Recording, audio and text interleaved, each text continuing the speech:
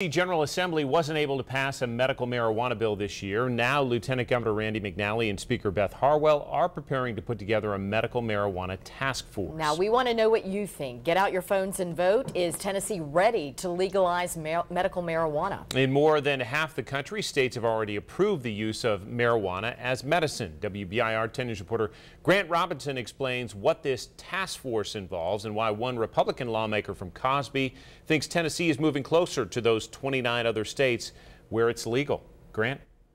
Robin and John, Lieutenant Governor Randy McNally says this task force is in its infancy stage, but Representative Jeremy Faison is already looking forward to the progress that it may help bring to Tennessee.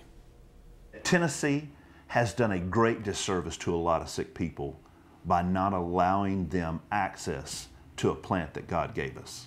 Representative Jeremy Faison has championed the regulated use of medical marijuana for years. Now, his bill is seeing further discussion with the Medical Marijuana Task Force. My goal is to bring awareness to the people about the need for the compassionate use of this plant.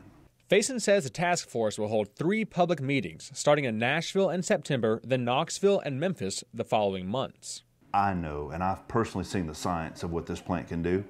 And so I, am hoping to bring in professionals from all over the world to be able to share not, maybe not just people from America, people from Israel, scientists from all over who know what this plant can do.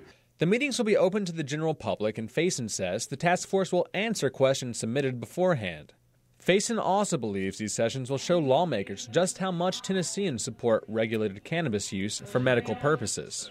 And what I think it's going to do is when my colleagues see polling numbers and their district, that 75 to 78 percent of their Republican primary voters believe that we need this, they're going to be like, holy smokes, we don't have 75% of people agree on anything, but 70, 80% of Tennessee's ready for it. So I, when they see these polling numbers, they're, they're, they're going to get on board. They're going to be ready to vote for it.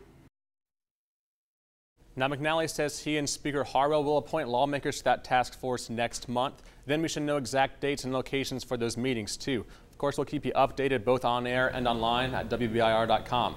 John, Robin? All right, Grant, thanks very much. And we asked you earlier to weigh in about whether med medical marijuana should be legal in Tennessee. And you can see your responses match those that the representative guessed they would 80 to about 20 percent.